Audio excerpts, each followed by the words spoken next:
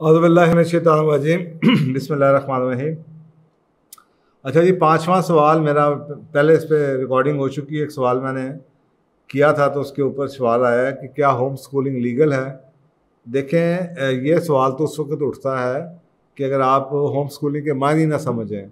अव्वल तो मैंने आपको बताया, पहले भी ये बात कही है कि बच्चे की का बुनियादी हक, जो चिल्ड्रन राइट्स हैं इस्लाम भी कहता है और आपकी यूएन की जो बॉडी है वो भी कहती है कि जैसे बेसिक ह्यूमन राइट्स हैं, उसी तरीके से बच्चों का बुनियादी हक है कि उनकी तरबियत की जाए, तालीम तरबियत की जाए।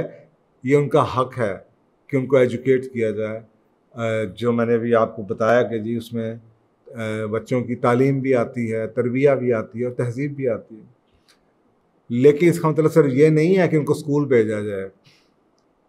लेकिन हमने अल्टीमेटली समझा कि एजुकेशन के लिए सिर्फ़ स्कूल ही में एजुकेशन हो सकती है, ये गलत है। तो अगर आप ये समझें कि ये बच्चों का बुनियादी हक स्कूलिंग नहीं, बच्चों का स्कूल भेजना बुनियादी हक नहीं है। बच्चों का बुनियादी हक तालीम और तरबियत है, उसके कई तरीके हो सकते हैं और उनमें से एक तरीका होम स्कूलिंग है। अगर आप ये सोचें, अब खुद अगर आप नाम को ही समझें, होम स्कूलिंग, दैट मीन्स कि असूली तौर पे आपने ये फ़ैसला किया है, किसी वजह से जो मैंने पहले प्रोग्राम्स में बताई हैं, आपने as a family as a parents as a mother ये फ़ैसला किया है कि आपके बच्चे की स्कूलिंग होम में होगी, घर में होगी। यानी कि सिर्फ़ स्कूलिंग होगी, लेकिन घर में होगी। टीचर की बजाय माँ पढ़ा रही होगी। तो आ, या या उस्ताद आप घर में बुला के आप बच्चे को घर में पढ़ाएँगे बच्चे को बाहर नहीं भेजेंगे। चाहे आप घर में खुद पढ़ाएँ या आप किसी ट्यूटर को बुला के पढ़ाएँ तो इसका मतलब है कि आप किसी तरीके से भी बच्चे के बुनियादी हक को वायलेट नहीं कर रहे वो तालीम तरबियत तो उसकी हो रही है तो ये इस क्वेश्चन नहीं उठता कि ये लीगल है या इलीगल है ये लीगल ही है। और जो रिज़ल्ट बता रहे हैं रिसर्च बता रही है वो ये है कि अब हर साल दुनिया में सिविलाइज दुनिया में होम स्कूलिंग बच्चों की शरह बढ़ती चली जा रही है। और ये एक प्रोग्रेसिव मूवमेंट है जो कि सेवेंटीज़ में शुरू हुई थी जिसमें पेरेंट्स ने आ, कुछ पेरेंट्स ने अमेरिका में ये फ़ैसला किया था कि जब ये कंपलसरी एजुकेशन वहाँ पे शुरू हुई थी शुरू में इसका नाम कंपलसरी एजुकेशन एक्ट था, पाकिस्तान में भी, लेकिन हमने उसको अज्यूम किया कि ये कंपलसरी स्कूलिंग एक्ट है। ये कंपलसरी स्कूलिंग एक्ट नहीं है कंपलसरी एजुकेशन एक्ट है।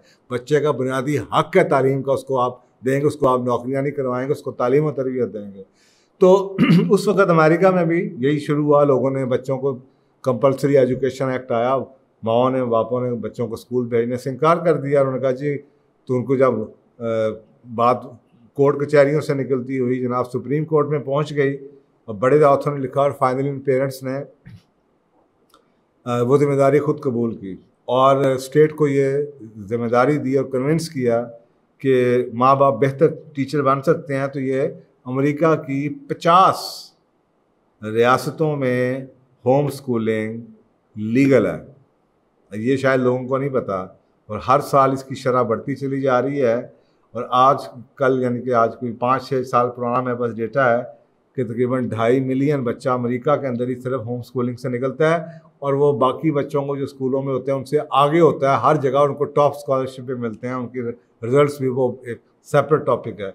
इससे बड़ी किताबें लिखी गई हैं और उसमें से एक बुनियादी वजह जो माँ बाप ने इस्तेमाल की कि बच्चों को स्कूल ना भेजने की उन्होंने कहा कि जी हमारे आ, हम सिस्टम से मुतमिन नहीं हैं स्कूलों के नंबर एक दूसरी वजह उन्होंने ये कही कि हमारे डिफरेंट रिलीजियस बिलीफ्स हैं, या फैमिली की बिलीफ सिस्टम है, या सोशल बिलीफ्स हैं, जिसकी वजह से हम नहीं समझते कि हमारा बच्चा स्कूल में जाए।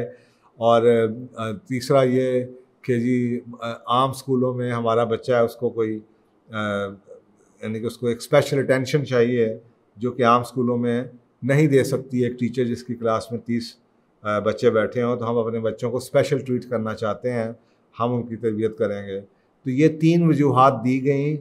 मेजॉरिटी जो उन पेरेंट्स ने जिन्होंने केस जीता और उसके बाद उनको अलाउ कर दिया गया। तो ये सवाल नहीं उठता कि जनाब ये लीगल है या नहीं। याद रखिए कि यहाँ पे मैं बात होम स्कूलिंग की कर रहा हूँ। अक्सर अवकात हम होम स्कूलिंग को एक और वर्ड है जिससे हम कंफ्यूज कर देते हैं। आप बच्चों की एजुकेशन ख़त्म नहीं करवा रहे या बच्चों को सिर्फ़ स्कूल से उठा रहे हैं।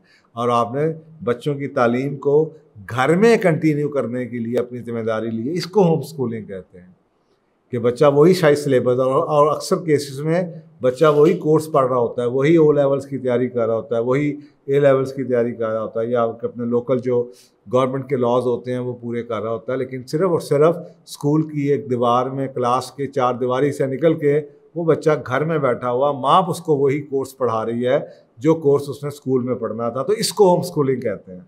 इसके अलावा बहुत से और तरीके हैं बच्चों को एजुकेट करने के बड़े बड़े क्रिएटिव किस्म के तरीके हैं, उस पर इन ताला फिर कभी टाइम मिलेगा या कभी कोई सवाल आएगा तो हम बात करेंगे, लेकिन ये, इस सवाल का जवाब ये है, ये बिल्कुल लीगल है, इस पर आपको डरने की ज़रूरत नहीं है, और बच्चों की तालीम और तलीम और तलीम के ऊपर, तहजीब के ऊपर और बच्चों की तरबिया के ऊपर किसी किस्म का कॉम्प्रोमाइज़ मत कीजिए।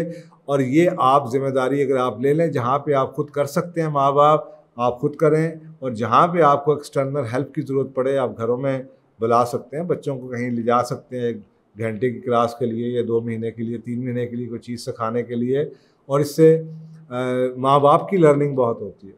तो home schooling is a is not an alternate to the schooling home schooling is just a different method of schooling instead of schooling in in the school you are schooling your child in at home भाई ये फ़र्क है। तो मेरा ख्याल है, आपको इसकी समझ आ गई होगी। तो अक्सर कार जब आप लोगों से पूछते हैं वीडियोस देखते हैं तो वो अपने अपने तरीके से आपको समझाने की होम स्कूलिंग और हर बंदे की अपनी परसेप्शन होती है। तो इसलिए मैं सोचा कि मैं आपको टेक्निकल डेफिनेशन दे दूँ ताकि आपको समझ आ जाए होम स्कूलिंग किसे कहते हैं। तो आई होप कि आपको जवाब मिल गया होगा। जजाकल्ला।